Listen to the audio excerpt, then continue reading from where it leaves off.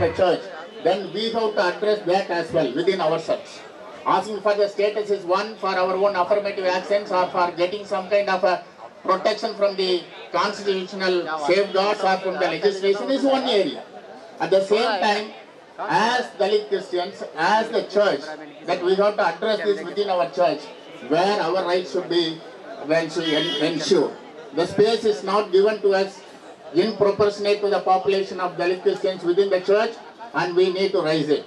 And many places, Dalit Christians are also victimized, discriminated, and they are also oppressed by the church authorities, which is also happening that we have to definitely want to raise it. With these words, I conclude. But I will be with you and you will be with me and collectively we can join together and rise and we will win over our rights both the, from the government and also by, within the church. With these words I conclude. Jai Bhim.